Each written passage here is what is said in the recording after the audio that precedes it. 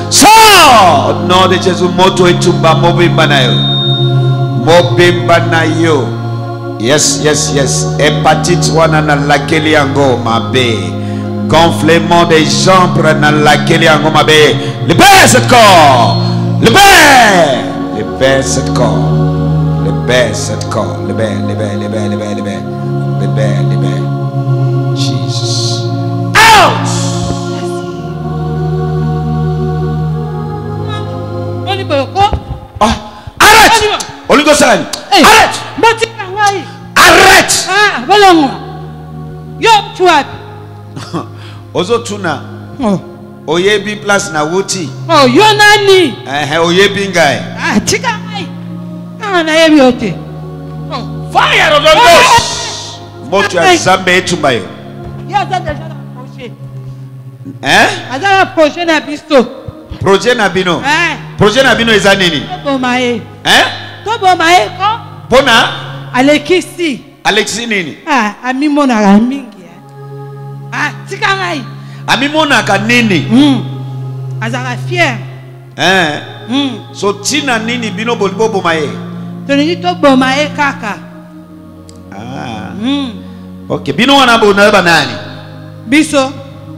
Mpo nini otuna biso bongo? Moto etumba yo pale. Ah, tika bato bafanda. Oh.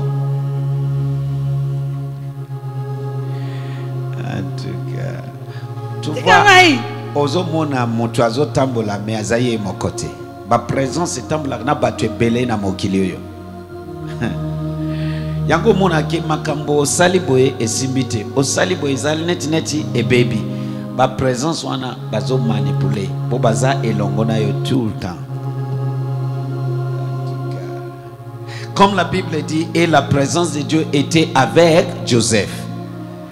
Tout ce qu'il fait, Dieu le fait prospérer.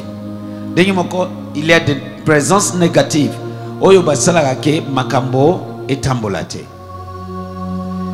Ah, ok. Fire! Fire! Eh! Moto etumba yo. Tikanga boye, tikanga na bunda na pasteur oyo. Oh, botika ye.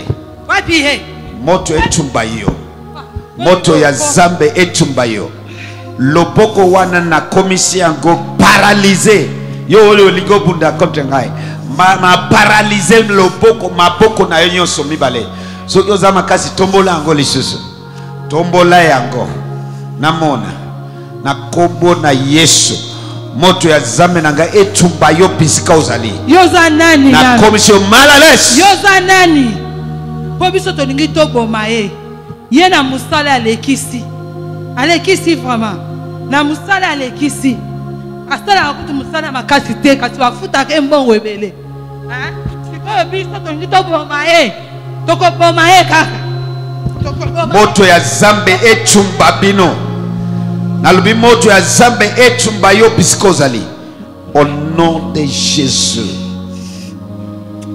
ikalosha bosana ni boye nalakende beta paster osikoyo bosana wapi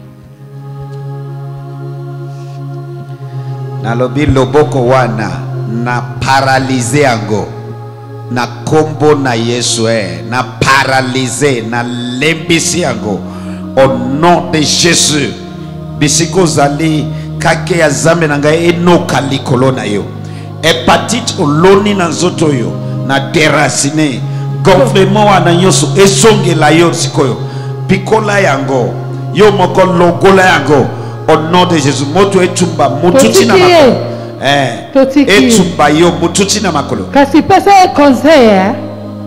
bopesa ye conseil eh. ati alekisi lofundu kaka ye kaka ye ye akosoyisa bato te ye amimonaka ye nani hein yebisa mpe salaire wana azozwa eza ya mosala ye asalaka te azozwa salaire mingi mosala moke totiki ye na nkombo na yo kasi ezala mbala sukazwa bisaka na yo kende au nom de jésus hepatite wana nalakeli yango mabe et disparaître gonflement de jambe et disparaître au nom de jésus amen